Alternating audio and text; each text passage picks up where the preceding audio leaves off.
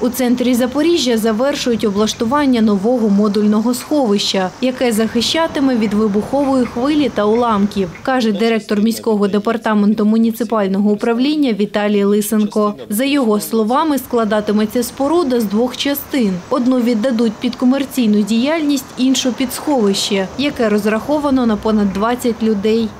Товщина стін має бути не меншою 200 мм, тобто це 20 см. Має бути армування певне, тобто воно є затверджено у нас протоколами технічних випробувань. І саме е, така товщина стін, саме відповідне армування, відповідна марка бетону, відповідна сертифікація має забезпечити захист населення. Сховище закриватиметься на електронний замок, який відкриватиметься під час повітряної тривоги. 300 таких захисних споруд планують встановити в місцях скупчення людей за рахунок підприємців, зокрема поблизу зупинок громадського транспорту та в зонах відпочинку. Та концепція, яка затверджена депутатами міської ради і яка планується для реалізації в місті Запоріжжя, не залучає жодної копійки бюджетних коштів. Повністю всі ці споруди встановлюються за кошти бізнесу. Вони потрібні, тому що е, прильоти у нас дуже частіше і повітряна тривога теж дуже часта. Тому- дійсно людина йде по вулиці, їй потрібно десь сховатися. Потреба на них там порядка 300.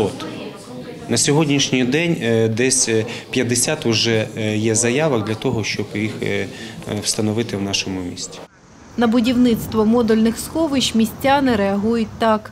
Вообще-то идея хорошая, но как-то оно не выглядит надежно, честно сказать.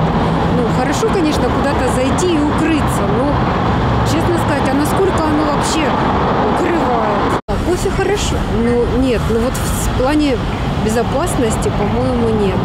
Ну, в общем-то, и не очень эстетично.